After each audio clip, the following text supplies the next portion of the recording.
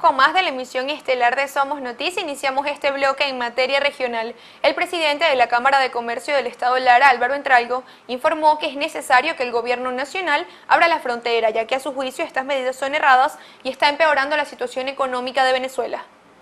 Señaló que existe una deuda de los comerciantes a nivel nacional de 12.500 millones de dólares, por lo cual plantea la necesidad de negociación y la importancia de aperturar la frontera con Colombia. Primero que todo hay que reconocer la deuda del sector privado. Decía eh, la semana pasada que había una deuda de casi 12.500 millones de dólares, sin contar las líneas aéreas.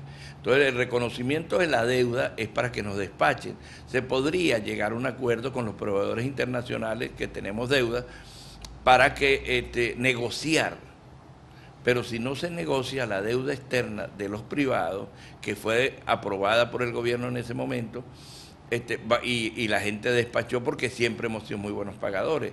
Eh, la deuda externa del gobierno, del país, pues no es tanto del gobierno, se ha venido pagando con mucho esfuerzo, pero se ha venido pagando. Se han recomprado muchos bonos, pero lo interesante es reconocer la deuda externa de los privados para volver a negociar y que nos llegue materia prima también nosotros pedimos que se llegue a un acuerdo con el gobierno de Colombia, se abra de una vez por todas la frontera, con la restricción que debemos cuidar que no salga material que está regulado, porque es una tontería. Cuando nosotros viajamos a Colombia y comprábamos, el comerciante allá ganaba plata, es decir, que nosotros no estábamos comprando nada regulado. Es diferente a lo nuestro.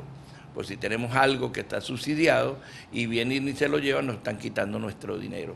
Y eso es lo que nos da, gente, da cuenta la gente que quiere que se haya el contrabando. Nos está causando un problema grave. En eso sí, yo estoy de acuerdo que hay que controlar, pero hay que abrir la frontera. Hay muchas cosas que iba y venía de, por esa parte de la frontera del sur y de la frontera del Táchira. Por otra parte, informó que sostuvo una reunión con la diputada Carmen Meléndez para analizar estrategias que permitan impulsar la región larense. Eh, nosotros le dijimos que deberíamos empezar por lo que es eh, la construcción que lleva mucha mano de obra, la distribución de materiales, las fábricas de cemento.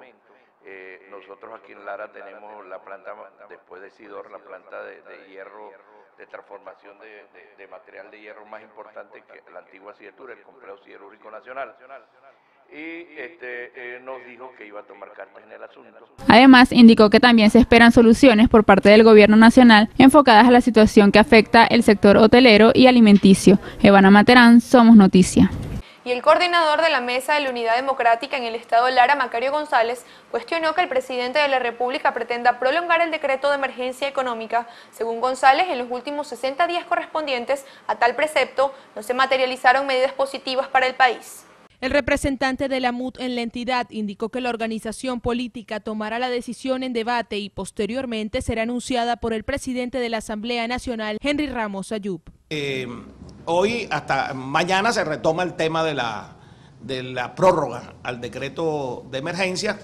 Mm, el presidente de la Asamblea Nacional, doctor Henry Ramos Ayub, con mucha responsabilidad ha dicho bueno que se va a solicitar la información de parte de los ministros de la, los que tienen que ver con la, el área económica y financiera del gobierno nacional. Lo que es cierto es que los 60 días se los consumieron de la vigencia de ese decreto y la cosa no cambió en el país. Todo lo contrario, eh, la situación se ha agudizado en materia de la crisis alimentaria y de la crisis eh, de la falta de medicamentos, la economía luce más deteriorada y el país más inestable. De manera que mm, eh, eh, pareciera pues que, lo que eh, está ocurriendo de verdad es que Maduro no puede con la situación crítica que está viviendo Venezuela y por eso, mm, repetimos, la opción sigue siendo la salida de Maduro de Miraflores por la vía constitucional y democrática, cívica y pacífica.